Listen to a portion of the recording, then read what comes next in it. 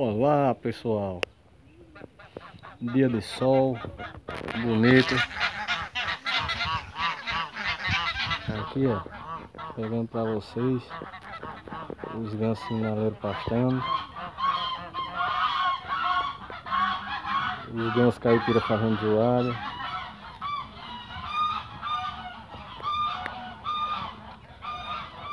Já tô esperando a postura postura deles. Né?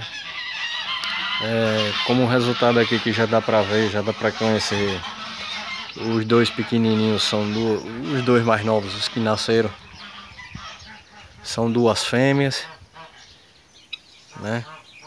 Então que provavelmente vão estar tá reproduzindo, se Deus quiser, esse ano e terei a chance de tirar mais mais sinaleiro né?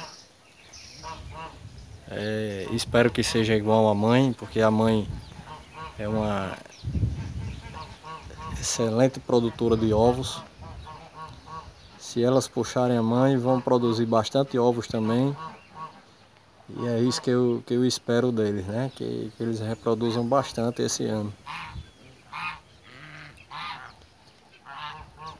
Então aqui eles agora vão voltar, ó. Vou pegar a volta deles agora o macho. Se Deus quiser, vão estar produzindo agora.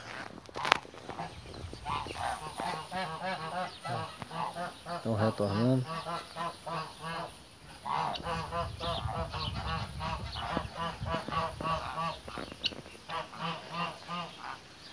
São aves muito bonitas, boa de se criar.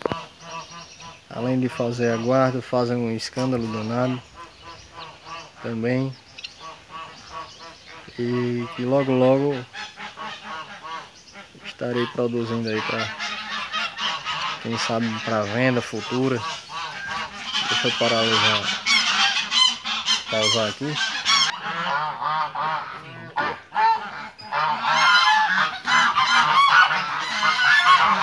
retornando. Lembrei aqui, colocou Colocou um pouco de comida aqui no chão. Um restinho de comida. Estão todos comendo aqui.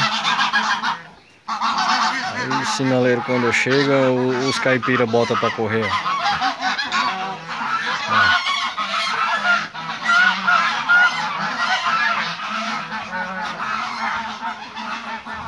Faz uma bagunça danada.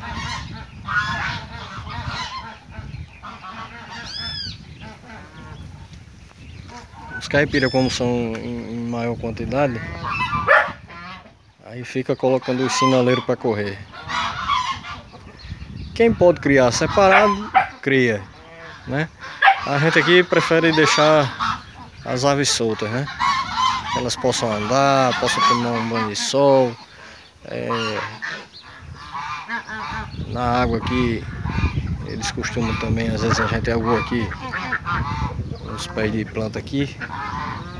Eu vou mostrar agora que eu acho que eles vão para lá.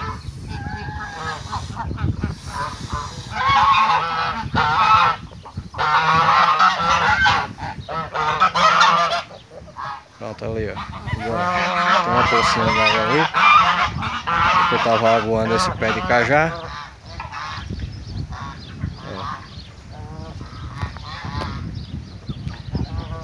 Eles não são muito de, de água, né? Como eu já disse a vocês, não são muito de água. Mas uma pocinha de água aqui, dessas aqui, dessa aqui, já é o suficiente para eles acasalarem. Entendeu? Então, tive que interromper o vídeo aqui para colocar um pouquinho aqui de sobra de comida para eles comerem aqui, ó. Eles gostam de comer. Os outros comeram, eles não comeram. Colocou aqui. Então como eu estava falando, uma pocinha d'água aqui dessa aqui já é o suficiente para eles é, se acasalarem, entendeu? Então qualquer tanquezinho aí que vocês tiverem, uma bacia de água, alguma coisa, basta colocar por perto que eles que eles vão lá e se acasalam, né? Aqui também os patos aqui, ó. Eles aproveitam também, né? Porque tirando o, o, o tanquezinho que tem ali dentro, né? A única fonte de água, assim, fora essas pocinhas de água que fica aqui para aguação, é o açude, mas o açude é lá embaixo ali, ó, lá por trás daquilo ali. Então eles têm que fazer uma caminhada grande para chegar por chegar lá. Então aqui temos, temos mostrando algumas patas, né? São três patas aqui, provavelmente esse aqui é um, é um pato macho, né? Só que ainda jovem, ainda vai crescer, né? E a gente só tem aqui, eu acho que um, um pato adulto, aquele pretinho ali, ó.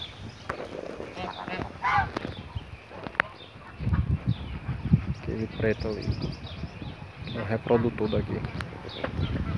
Temos muitas fêmeas. E esse aqui é um jovem que está então pessoal, vocês veem aqui que eu tenho, que eu tenho muitas aves aquáticas, né? Então eu estou lançando aí é, um e-book, certo? É, como criar aves aquáticas. Um guia básico aí, né? Para vocês que, que querem aprender um pouco mais sobre, sobre aves aquáticas, quais são as aves aquáticas, é, os patos, as espécies de patos, as raças de patos, né, o, o, os, as raças de, de, de, marreco, as raças de ganso, que mais são criadas aqui no, no Brasil, né? E tem também cisne também, para quem tem gente que gosta de curtir um cisnezinho. Então eu falei tudo, né? Sobre as raças, sobre o que como, como reproduzir, sobre reprodução, alimentação. Então quem tem, quem aí não conhece e quer aprender um pouco, é, lancei estou lançando esse e-book, tá aí na descrição do vídeo, é só é, adquirir, um preço baixinho, viu? Mas aí ó, para vocês aprenderem um pouco sobre aves aquáticas, como criar, sabe? O espaço, o espaço que, que, que pode se criar. Viu? Tem tudo lá dizendo lá no, no e-book. Tá certo, pessoal? Então, é, conto com vocês, fiquem com Deus e, e, e até a próxima.